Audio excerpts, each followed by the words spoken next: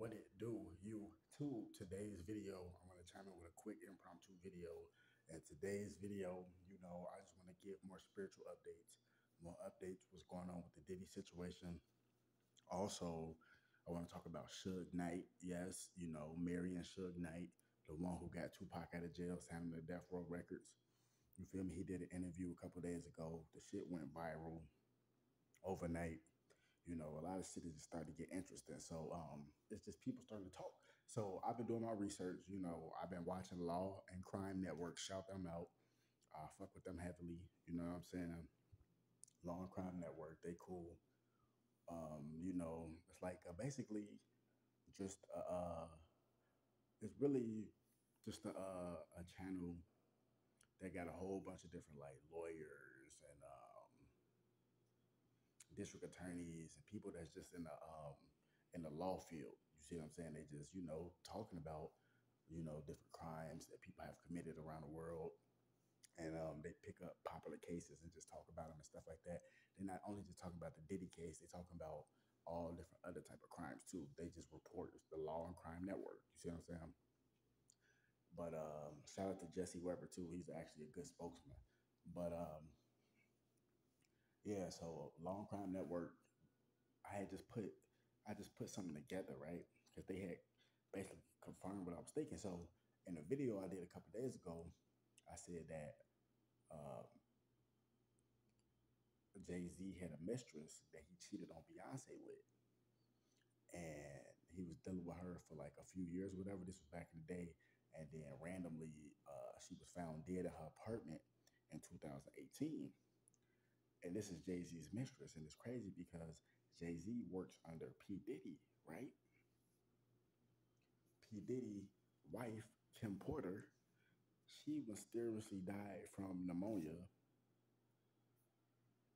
in 2018, but she died in California. Jay Z mistress died in New York. See, they made sure that when they was found dead, that they wasn't found dead nowhere near each other you see what I'm saying? And I got to look up the dates to make sure that the dates weren't close either. But um, the girl that Jay Z was dealing with, she died at 28 in 2018, and Kim Porter was like 46 or something like that, 47, something like that when she passed away. And it's just crazy because they was both their mistresses and stuff like that. And um, they both was found dead the same year, but they was both found dead on opposite coasts of each other, and that's for a reason. Because if they was both found dead in New York or both found dead in L.A., nigga, that's just too much suspicion. They gonna easily connect it down. This Kim Porter, this the girl that Jay Z was fucking with, and it's actually a reporter, a journalist. But yeah, they made sure that that um that they died on opposite coasts from each other because if they both was found dead in New York or L.A., motherfuckers would easily put that together. Like I was saying, there's a journalist, this white woman, I forgot her name, but um, she got the whole scoop on the whole Jay Z and his mistress story. She got pictures, she got timestamps, receipts, evidence, all that. You know what I'm saying? So uh, hopefully nothing happens to her.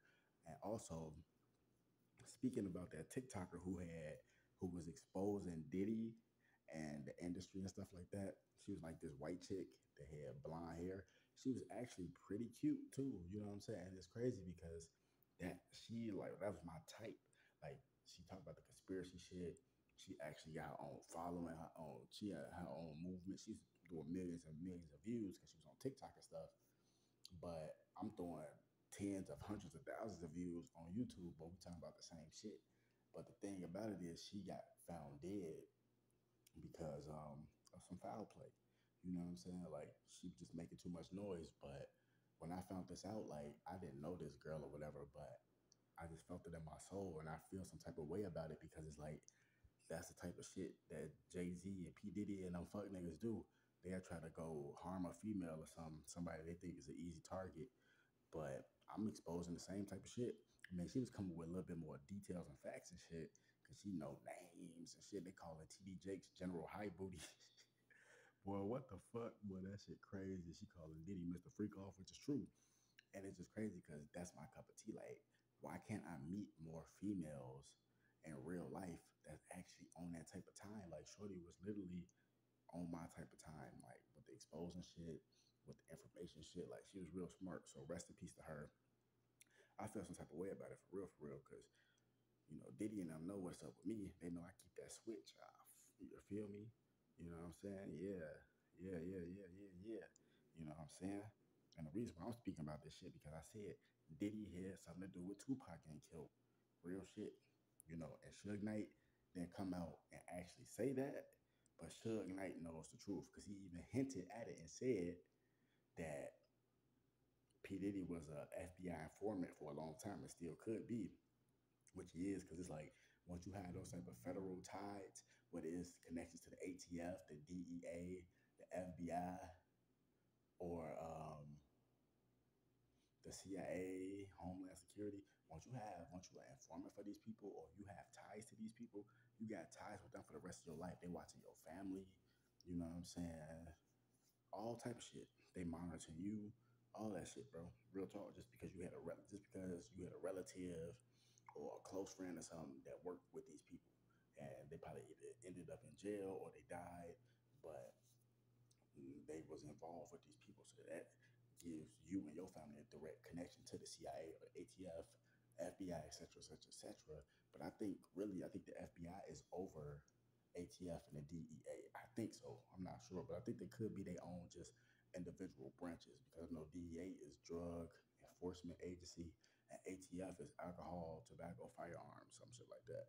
So you know what I'm saying? It's it's like different branches, but I think they all work under the FBI because the FBI is like the bigger brother, bigger branch, you know, of both of those. I think I would assume, and then the CIA would be over FBI because it's the Central Intelligence Agency, which is still on the federal level.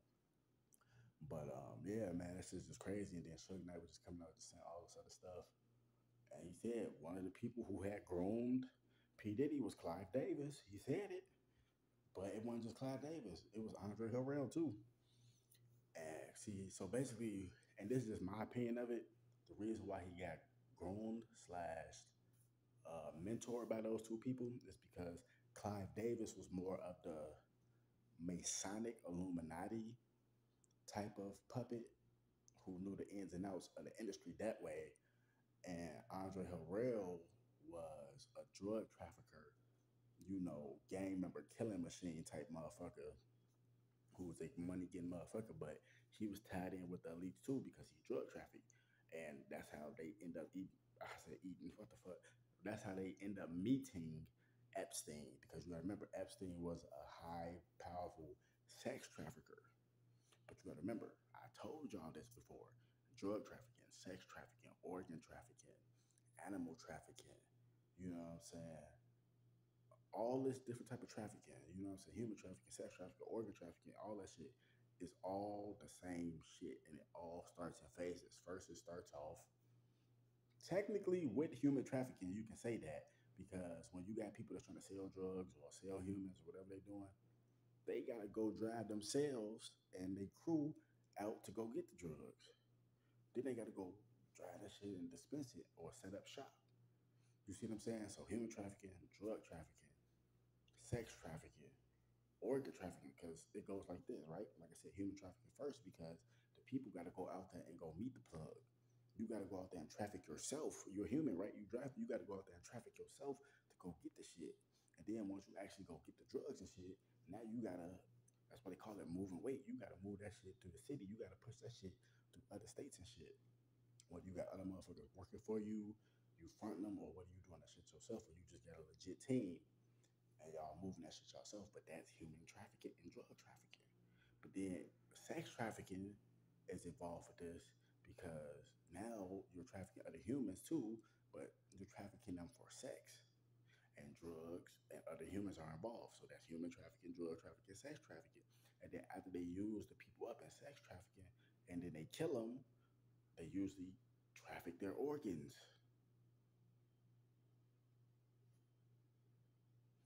Or when people go to these exotic ass countries like Dubai or Singapore or um, you know, Thailand, motherfucking China, all these different exotic places and stuff like that. And that's just to name a few, man. You got Australia, You got motherfucking Netherlands. You got motherfucking New Zealand. Boy, I can keep going on and on and on. I name some places y'all niggas never even heard of. You got Timor Leste. You see what I'm saying? Yeah, boy, that's a Pacific Islander country. Yeah, and their currency is USD. Yeah, you see what I'm saying? So um, you got all these different countries and shit. You know, um, so in all these different places. So you know, people they can traffic exotic animals back to America. That's what they do. That's what they get animal trafficking. A lot of people don't really know too much about it, but this is a real thing. That's why a lot of these people like they be they be uh, animal trafficking parrots and all this different type of stuff because these are exotic animals that come from different countries, and you know they they buy the animals in that country, breed them, and usually if they small enough, they usually just sneak them in their shirts or something like that, or you know how it go, you know shit like that, and they just you know breed them, they illegally sell them, traffic them, animal trafficking. So this shit deep, bro. But uh, yeah, man shit getting crazy and crazy about it day, but we gonna see as things continue to unfold. Wake the damn up. More videos coming soon. Fuck Satan. Fuck all us minions. Gang. You know how we rocking, man.